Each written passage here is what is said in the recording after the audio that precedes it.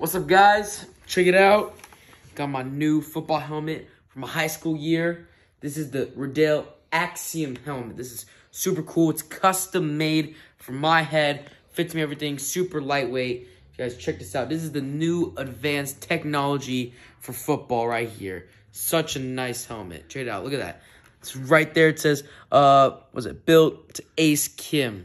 Check it out, guys. Such a nice helmet. Getting the stickers on soon and all that. Got that nice visor there. Super good, guys. Really comfortable. Fit just for me. Check it out, guys. Strap it right on. Boom. Strap it back off. Just like that. Check it out.